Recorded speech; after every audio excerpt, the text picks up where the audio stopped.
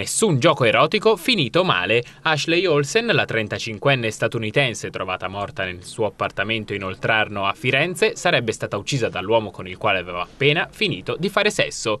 Lui, Chaik Dioti Diané, senegalese di 27 anni in Italia da irregolare da pochi mesi, è stato fermato la scorsa notte dagli agenti della polizia di Firenze che l'hanno torchiato fino alle 4 del mattino, ottenendo una parziale confessione. Secondo quanto ricostruito dagli investigatori, i due si sono sono incontrati in un locale notturno di Firenze giovedì notte e dopo una serata passata insieme si sono trasferiti a casa di lei in via Santa Monaca. Qui avrebbero fatto sesso dopodiché la ragazza avrebbe chiesto bruscamente all'uomo di andarsene. Dio ha raccontato agli agenti di aver risposto non sono un cane e di aver spinto la donna che è caduta a terra battendo la testa, ricostruzione che ha convinto solo a metà gli inquirenti. L'autopsia ha confermato che la ragazza è morta per strangolamento ma purtroppo anche rivelato che aveva delle altre lesioni che da sole sarebbero state sufficienti a cagionarne la morte, cioè due fratture al cranio.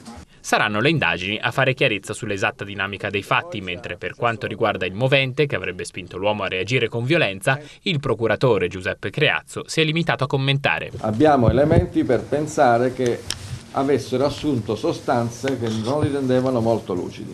A mettere gli investigatori sulle tracce di Dio sono stati tre elementi, il racconto di alcuni testimoni, le immagini delle telecamere piazzate nei pressi della casa di Ashley che hanno ripreso i due insieme e il fatto che dopo l'omicidio Dio abbia preso il cellulare della ragazza sostituendo la SIM con una sua. Le prove decisive sono venute solo ieri, perché l'analisi sui reperti biologici riguardanti un profilattico, una cicca di sigarette trovate nell'immediatezza dei fatti, quel giorno stesso, naturalmente repertati dalla polizia scientifica dentro il water del, del bagno della casa. Hanno dato univoco risultato, secondo il referto del laboratorio, di appartenenza allo stesso soggetto. Che è stato trasferito al carcere di Sollicciano.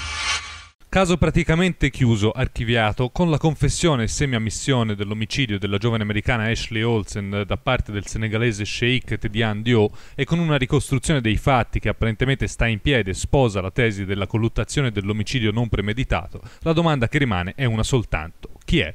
Sheikh Tedian Dio è un ragazzo di 27 anni, senegalese, arrivato in Italia da pochi mesi clandestinamente e quindi non in possesso del permesso di soggiorno.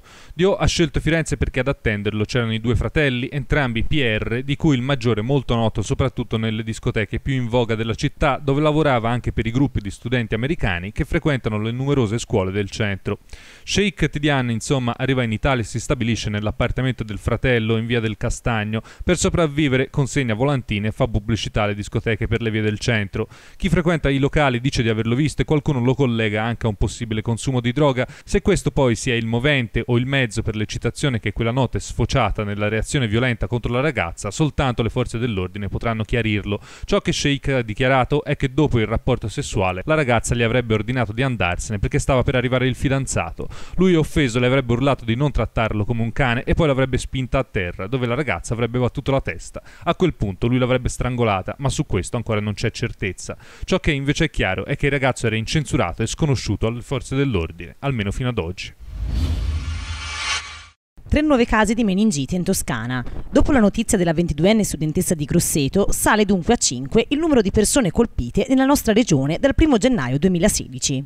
Se i casi dell'uomo residente a Chiesina e della donna ricoverata da Arezzo sembrano meno gravi, trattandosi probabilmente dei ceppi VY, preoccupante è invece la situazione della 37enne di Prato, ricoverata all'ospedale Santo Stefano in seguito agli accertamenti clinici effettuati presso il Maier, che hanno confermato la patologia meningococco di tipo C. La donna lavora in una rosticceria di Prato, per questo il Dipartimento di Prevenzione dell'ASL ha già avviato le operazioni per la profilassi, contattando ciascuna delle persone che sono venute a contatto con la donna negli ultimi giorni. Per contrastare la diffusione del meningococco di tipo C, la Regione Toscana ha messo in atto un'importante campagna di prevenzione che proseguirà fino al mese di giugno 2016, offrendo la vaccinazione gratuita a tutti coloro che hanno un'età tra gli 11 e i 45 anni.